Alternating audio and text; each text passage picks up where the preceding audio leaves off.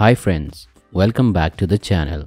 Today we are going to build a simple yet effective IGBT and MOSFET tester using just few basic components.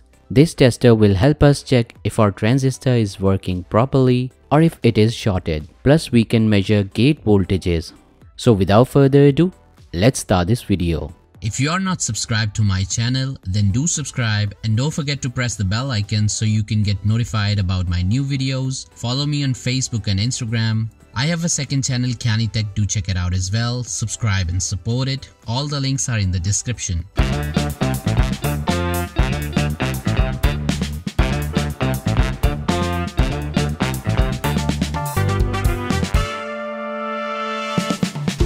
Now let's understand how this tester works. Here is how our tester works. We connect the IGBT or MOSFET to the circuit using a dedicated connector. When we press push button, we begin controlling the gate voltage with potentiometer.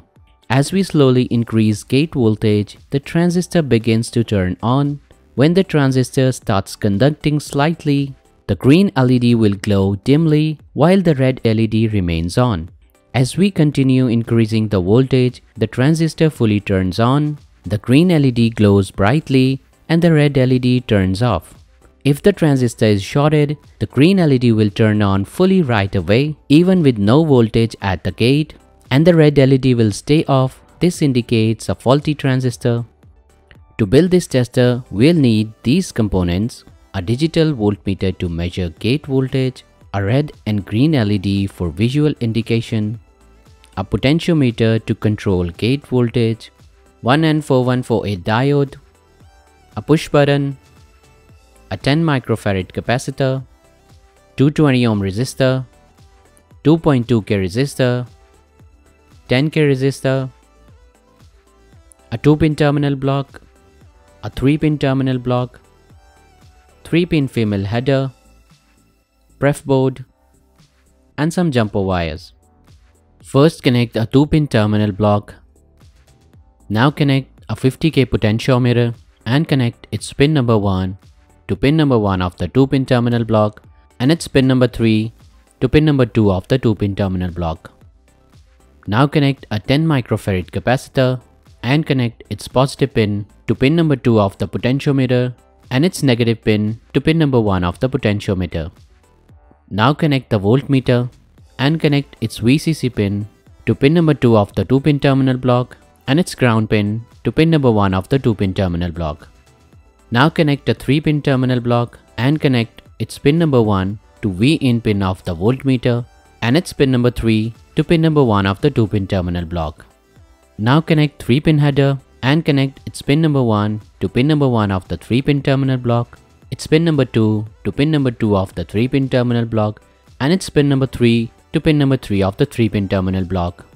Now connect a 10k resistor and connect its 1 pin to pin number 1 of the 3 pin terminal block and its other pin to pin number 3 of the 3 pin terminal block. Now connect a 220 ohm resistor and connect its 1 pin to pin number 2 of the 2 pin terminal block. Now connect the green LED and connect its anode to remaining pin of the 220 ohm resistor and its cathode to pin number 2 of the 3 pin terminal block. Now connect a 2.2k resistor and connect its 1 pin to pin number 2 of the 2 pin terminal block. Now connect the red LED and connect its anode to remaining pin of 2.2k resistor and its cathode to pin number 3 of the 3 pin terminal block. Now connect a 1N4148 diode and connect its cathode to pin number 2 of the 3 pin terminal block and its anode to anode of the red LED. Now connect the push button and connect its 1 pin to pin number 2 of the potentiometer and its other pin to pin number 1 of the 3 pin terminal block. So we have completed all the connections. Now let's test the project.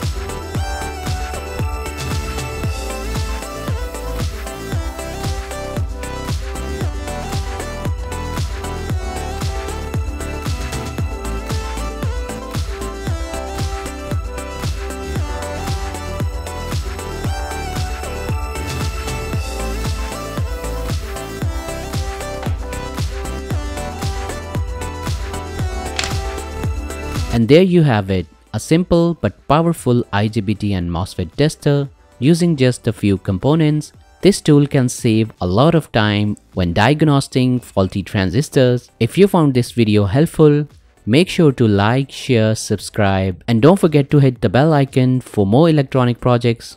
Thanks for watching and I'll see you in the next video.